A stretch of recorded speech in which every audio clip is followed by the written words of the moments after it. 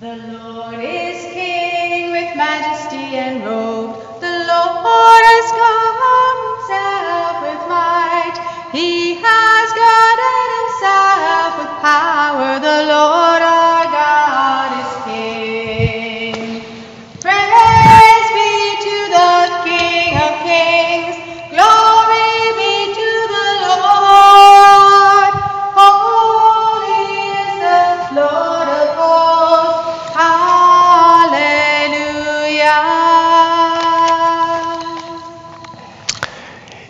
the name of the Father, and of the Son, and of the Holy Spirit. Amen. The grace of our Lord Jesus Christ, and the love of God, the communion of the Holy Spirit be with you all. And with your spirit. So again, uh, I would like to welcome those who are watching uh, uh, this Mass uh, in YouTube. Uh, for all those uh, people, uh, yeah, as I've said, you know, we've created a, a virtual community here. It's just so good to hear from uh, people from all over the world, you know, uh, watching this uh, daily Mass. I hope you're, I hope you've been, been blessed by, by, by, by attending the, the, the Mass here at St. Mary's. So brothers and sisters, let's acknowledge our sins and so prepare ourselves to celebrate the sacred mysteries. I confess to Almighty God and to you, my brothers and sisters, that I have greatly sinned in my thoughts and in my words, in what I have done and what I have failed to do, through my fault, through my fault, through my most grievous fault. Therefore I ask Blessed Mary, ever Virgin, all the angels and saints, and to you, my brothers and sisters, to pray for me to the Lord our God. May mighty God have mercy on us, forgive us our sins, and bring us to everlasting life. Amen. Kyrie eleison, Christe eleison, Christe eleison. Kyrie eleison. Kyrie eleison. Let us pray. Hear our prayers, O Lord, so that what was promised by the sanctifying power of your word may everywhere be accomplished through the working of the gospel, and that all your adopted children may attain what the testimony of truth has foretold. To our Lord Jesus Christ, your Son, who lives and reigns with you in the unity of the Holy Spirit, one God, forever and ever. Amen.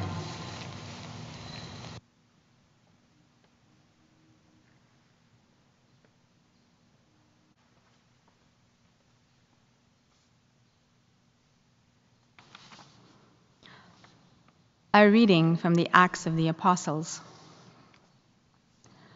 At Corinth, one night, the Lord said to Paul in a vision, Do not be afraid, but speak and do not be silent, for I am with you, and no one will lay a hand on you to harm you, for there are many in this city who are my people. Paul stayed there a year and six months, teaching the word of God among them. But when Gallio was proconsul of Achaia, the Jews made a united attack on Paul and brought him before the tribunal. They said, This man is persuading people to worship God in ways that are contrary to the law. Just as Paul was about to speak, Gallio said to the Jews, If it were a matter of crime or serious villainy, I would be justified in accepting the complaint of you Jews. But since it is a matter of questions about words and names and your own law, see to it yourselves. I do not wish to be a judge on these matters. And he dismissed them from the tribunal. Then all of them seized Sosthenes, the official of the synagogue, and beat him in front of the tribunal. But Gallio paid no attention to any of these things. After staying there for a considerable time, Paul said farewell to the believers and sailed for Syria, accompanied by Priscilla and Aquila.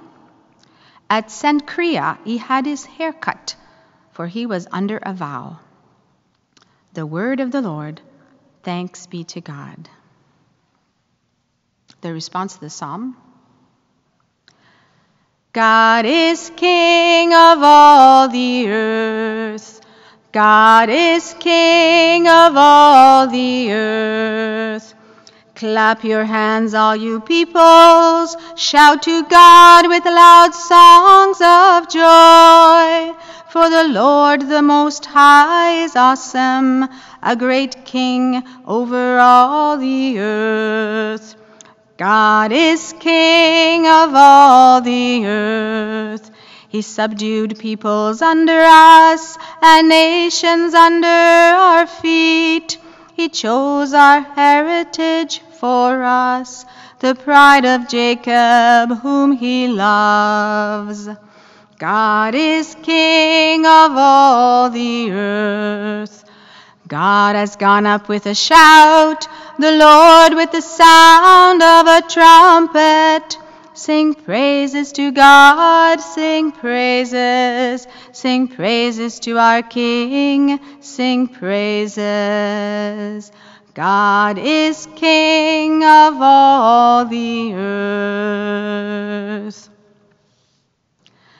Alleluia, Alleluia, Alleluia, Alleluia, Alleluia, Alleluia. Christ had to suffer and to rise from the dead, and so enter into his glory.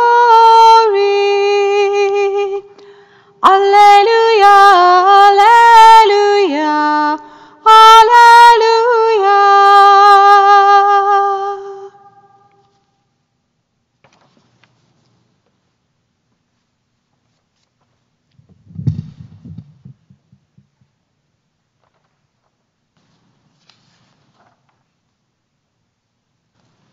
The Lord be with you. And with your spirit. A reading from the Holy Gospel according to John. Glory to you, O Lord. When Jesus knew that his hour had come to depart from this world and to go to the Father, he said to the disciples, Very truly I tell you, you will weep and mourn, but the world will rejoice. You will have pain, but your pain will turn into joy. When a woman is in labor, she has pain, because her hour has come. But when her child is born, she no longer remembers the anguish because of the joy of having brought a human being into the world. So you have pain now, but I will see you again, and your hearts will rejoice, and no one will take your joy from you. On that day, you will ask nothing of me. Very truly I tell you, if you ask anything of the Father in my name, he will give it to you. The Gospel of the Lord. Praise to you, Lord Jesus Christ.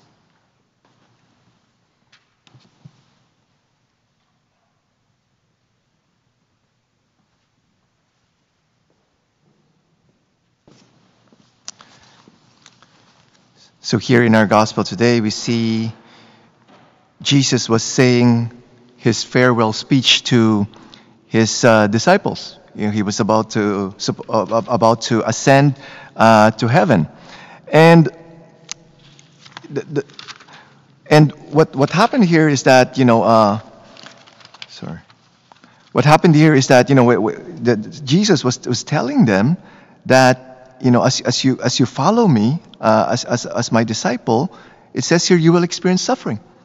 It says he, he says here you will weep, you will mourn, you know, you will experience pain, and uh, and and I'm glad that Jesus did not stop there, because if he if he stopped there, uh, the, the the disciples would just be so discouraged.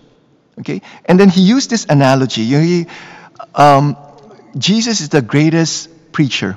He's the greatest evangelist, and he knows how to connect with people. And he uses um, everyday experiences of people to uh, to share it, so that people will be able to relate and be able to get his point. And here in our gospel today, he used the the the the, the analogy of a woman um, laboring in pain. Okay, uh, who's in labor, right? And uh, and then he he said that yes, when you're laboring, yeah, there's a lot of pain, but when when the child is born, you could see the joy the joy that the, the, the, the mother would, would really experience. And, and, and when the mother would experience that joy, he would, she would already forget the, the, the pain. So we see here how Jesus was saying that there's joy after suffering. Okay? And, and the more you suffer, the more joy that you will experience. That's why for, for, uh, uh, for giving birth, uh, I understand both parents are, are very happy to see a child born, but I think the mother because the mother experienced more pain, the physical pain of, of, of uh, uh, having a child, I, I, think they have more joy compared to the husband. Okay, I, I, I could be wrong. You know, the husbands could could uh, could could uh, could correct me about that. But because of the, the mother, the, the wife, you know, experienced this pain of, of physical labor of giving birth, they experience more joy. Okay? And, and, and so, you know, as we experience this, this suffering in, in, in following the Lord, because the Lord promised, told us, you know, if, if you want to follow me, you must deny yourself, take up your cross, right? And he said that. So he, he did not promise that uh, our life will be like a bed of roses as we follow him. There will be suffering involved.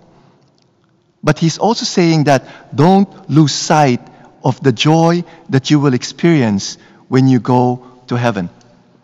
And the joy that you will experience in heaven is nothing compared, you know, the, the, the suffering that you, that, that, that you experience on earth. Saint Teresa of Avila once said this In light of heaven, the worst, okay, worse, the worst suffering on earth will be seen to be no more serious than one night in an inconvenient hotel. Uh, I don't know if you've experienced living in a inconvenient hotel, one-star hotel, the inconvenience there, right? You know, maybe no hot shower, very dirty or whatever. You know, the, eh, you couldn't sleep well because the bed is not is not good. Well, that's the worst suffering that you could experience here on earth, compared to the joy that you will experience in heaven. So we should not lose sight of the joy that we will experience in heaven because that will make us persevere. Okay? And as we suffer here on earth, we're not alone. The Lord is always with us. Uh, just like in our first reading today, Paul was experiencing suffering from his preaching. People were persecuting him. Okay? And, and what, what, what did Jesus say to, to, to, to, to Paul? Do not be afraid, but speak and do not be silent, for I am with you, and no one will lay a hand on you to harm you. So you see here how the Lord's presence is always there to comfort us in times of suffering. Okay? So something to look forward to.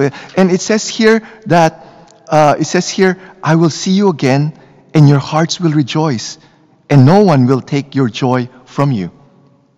You know, if you have a foretaste of being loved by Jesus and the joy that it brings, how much more if you really see, see him in heaven?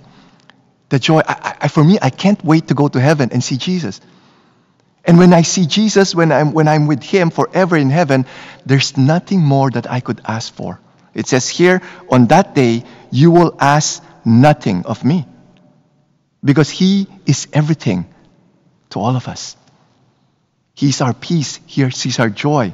He's our love. He's everything to us. We, will no, we no longer need of anything else because He is everything to us.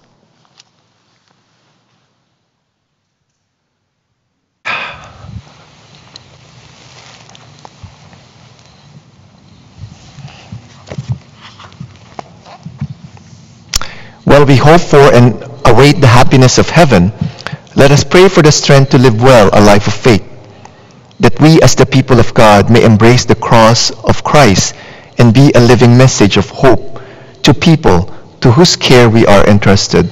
Let us pray to the Lord. Lord, hear our prayer.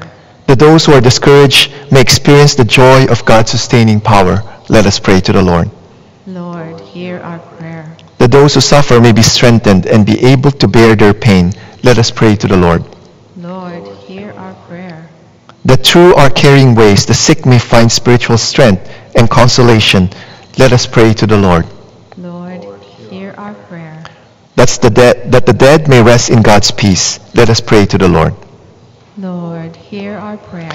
For the special intentions of this Mass, for the repose of the soul of Kevin Langabir, offered by Linda Cobb. Let us pray to the Lord.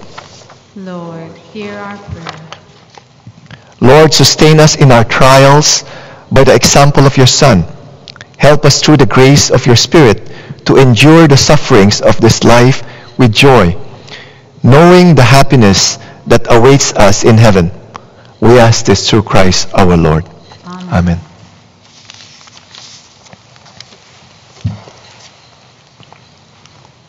I, the Lord of sea and sky, I have heard my people cry. Dwell in dark and sin, my hand will save.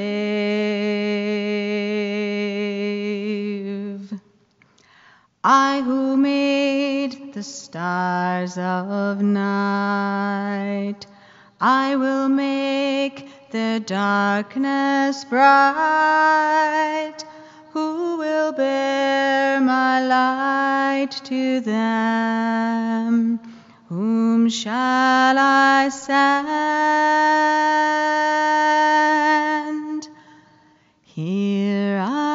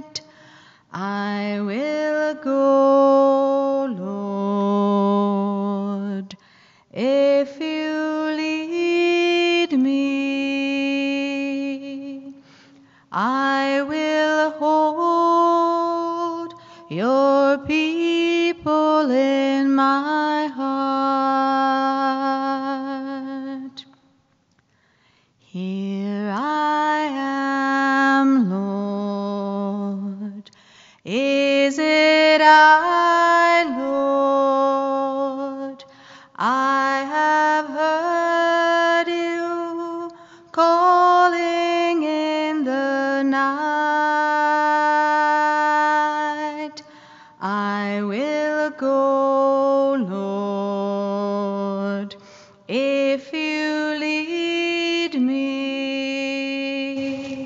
I will hold your people in my heart. Pray, brothers and sisters, that my sacrifice and yours may be acceptable to God, the Almighty Father. May the Lord accept the sacrifice at your hands for the praise and glory of his name, for our good and the good of all his holy church.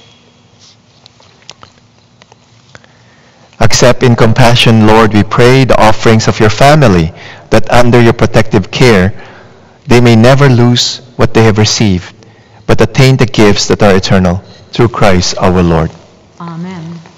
The Lord be with you. And with your spirit, Lift up your hearts. we lift them up to the Lord.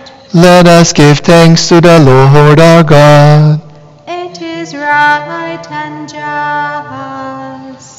It is truly right and just our duty and our salvation at all times to acclaim you, O Lord, but in this time above all to laud you yet more gloriously, when Christ our Passover has been sacrificed.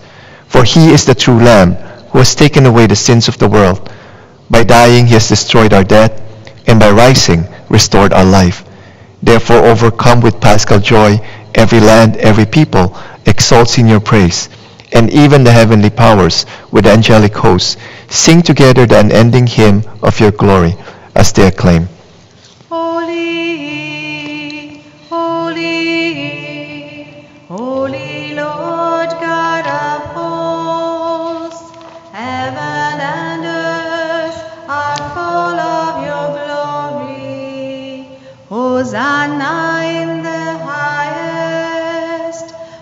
Blessed is he who comes in the name of the Lord. Hosanna in the highest.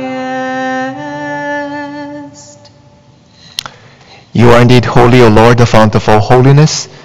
Make holy, therefore, these gifts, we pray, by sending down your Spirit upon them like the dewfall, so that they may become for us the body and blood of our Lord Jesus Christ. At the time he was betrayed and entered willingly into his passion, he took bread, giving thanks, broke it, gave it to his disciples, saying, Take this, all of you, and eat of it, for this is my body, which will be given up for you.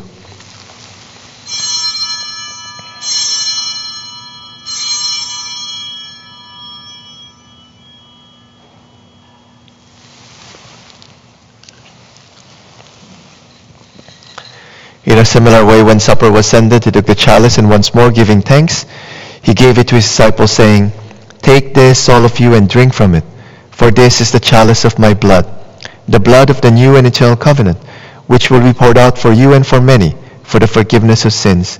Do this in memory of me.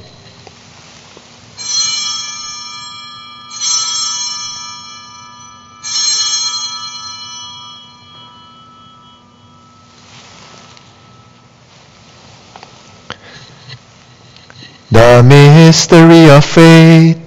We proclaim your death, O Lord, and profess your resurrection until you come again. Therefore, as we celebrate the memorial of his death and resurrection, we offer you, Lord, the bread of life and the chalice of salvation, giving thanks that you have held us worthy to be in your presence and minister to you. Humbly we pray that partaking of the body and blood of Christ, we may be gathered into one by the Holy Spirit. Remember, Lord, your church spread throughout the world. Bring her to the fullness of charity, together with Francis our Pope, Terence and Marcel our bishops, and all the clergy. Remember also our brothers and sisters who have fallen asleep in the hope of the resurrection, and all who have died in your mercy. Welcome them into the light of your face. Have mercy on us all, we pray, that with the Blessed Virgin Mary, Mother of God, with blessed Joseph, her spouse, with the blessed apostles, and all the saints who have pleased you throughout the ages, we may merit to be co-heirs to eternal life, and may praise and glorify you to your Son, Jesus Christ.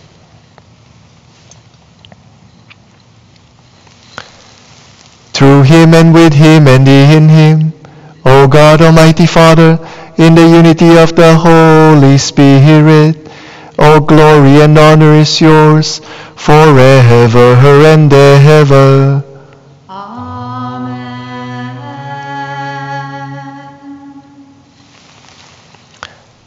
At the Savior's command and formed by divine teaching, we dare to say, Our Father, who art in heaven, hallowed be thy name. Thy kingdom come, thy will be done on earth as it is in heaven. Give us this day our daily bread, and forgive us our trespasses, as we forgive those who trespass against us. And lead us not temptation, but deliver us from evil.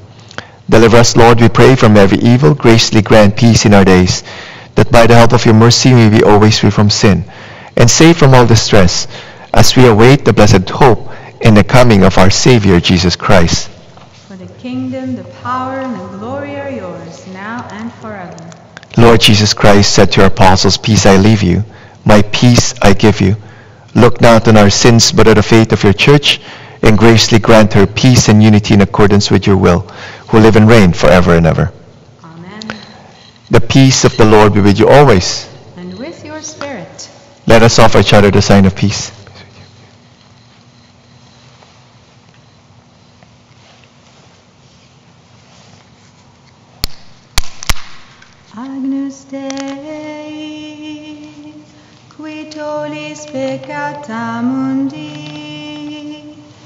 Miserere nobis. Agnus Dei, qui tollis peccata mundi, miserere nobis. Agnus Dei, qui tollis peccata mundi, dona nobis pacem. Behold the Lamb of God. Behold him who takes away the sins of the world. Blessed are those called to the supper of the Lamb. Lord, I am not worthy that you should enter under my roof, but only say the word, and my soul shall be healed.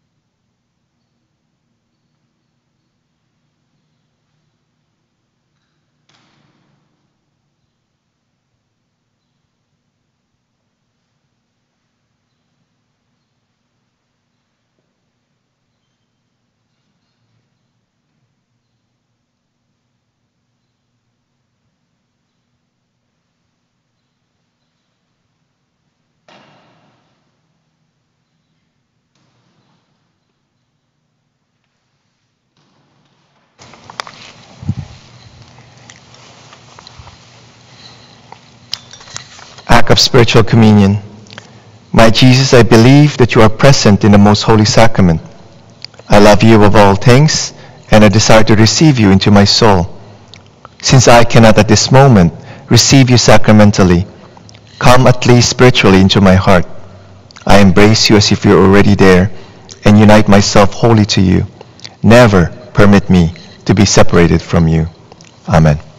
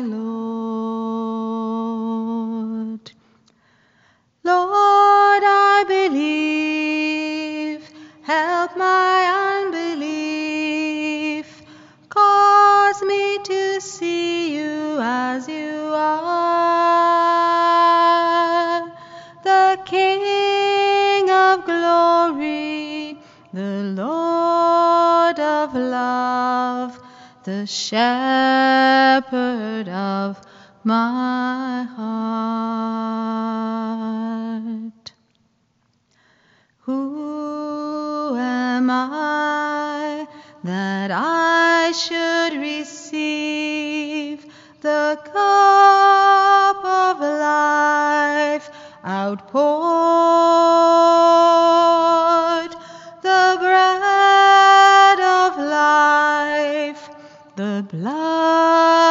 of Christ, the body of my Lord.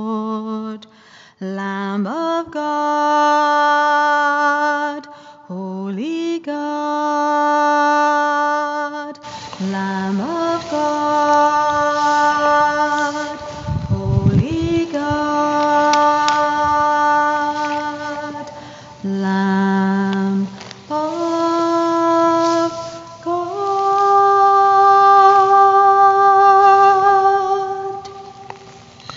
Let us pray.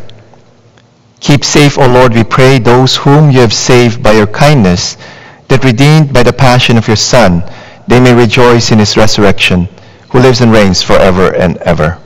Amen. Okay, so today is uh, uh, the, the start of the novena to the Holy Spirit. So I would just like to encourage everyone to uh, to do the novena, the nine-day novena. Novenas are very powerful, uh, so we need more of the Holy Spirit really uh, in our in our lives, but also in the church right now. You know, we need more of the power of the Holy Spirit really. And uh, also, just a reminder that starting Monday, okay, it's going to be at uh, St. Mary's Ottawa uh, YouTube channel. Uh, so for those who haven't subscribed to it, kindly subscribe so, so that you will be notified of the Mass uh, starting this uh, Monday. Okay. Also, I would like to welcome, uh, um, invite you to attend the Mass uh, here at St. Mary's on Sunday. I have some good news to tell you, and I have a surprise to, to, to, to, to, to show you. Okay? Uh, okay. The Lord be with you. And with. May Almighty God bless you, the Father, and the Son, and the Holy Spirit. Amen. Go in peace. Thanks be to God. Saint Michael the Archangel, defend us in battle. Be our safeguard against the wickedness and snares of the devil. May God rebuke him, we humbly pray. And with our Prince of the heavenly hosts, by the power of God, cast into hell Satan and all evil spirits who prowl about the world, seeking the ruin of souls. Amen.